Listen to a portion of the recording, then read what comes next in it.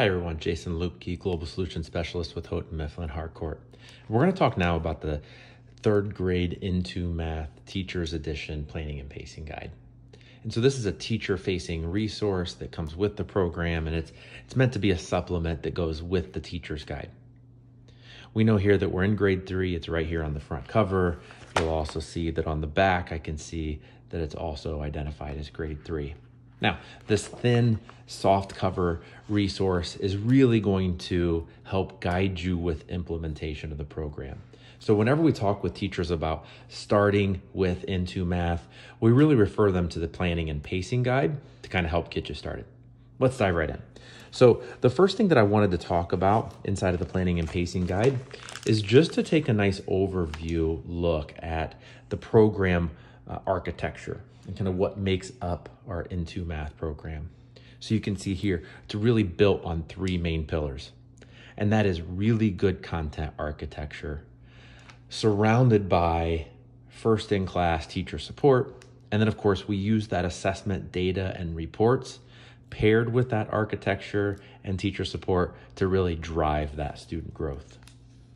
You know, that continues when we start thinking about the content architecture inside of the program, one of the newest features for Into Math and something that that I think is really at the heart of of what makes Into Math um, apart from the other programs that are out there. That is the learning arc.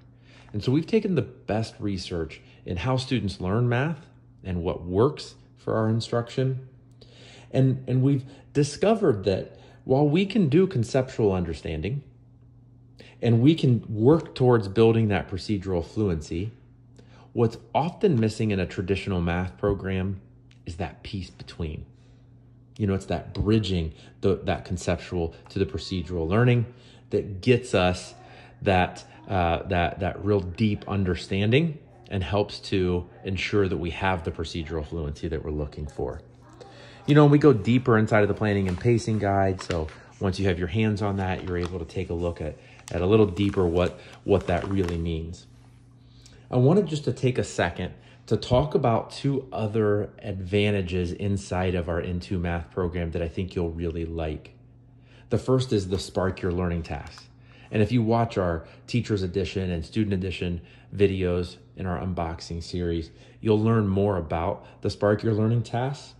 But just know this is an opportunity for students to really get inside of the math develop that productive perseverance that we're looking for in our students.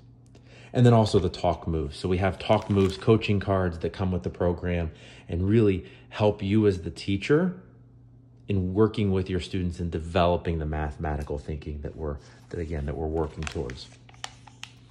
Continuing with that content architecture, you know, we've embedded those mathematical practices and processes and so we give you some things to think about as teachers, some great questions to ask around each one of those processes and practices. And again, that's embedded into the content architecture of the program.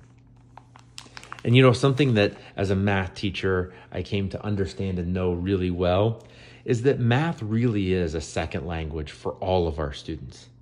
And so we've made a point for Into Math of really digging into the language development skills. And so you're going to see things like language routines and a focus on that key academic vocabulary around math.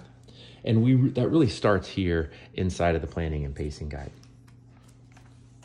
Continuing on with that, you know, language development, some of the strategies that we use with our students like the three reads, the compare and connect. And those are strategies that you see at every grade level and throughout the program. Moving on, you know, we talk about not just great content architecture, but that teacher support. So, you know, it's, it's great to know that that support is there for you. It's embedded inside of not only the teacher materials, but also the platform. And there's lots of other resources that we have to help support you as the teacher and to help support your students. So one of the things that's embedded in the program is that idea of fostering a learning mindset. And so we've had this unique partnership with Mindset Works in developing that mindset in our students. Of course, near the back, we get into the pacing guide portion of this planning and pacing guide. This is where you'll see the different types of lessons that are included throughout.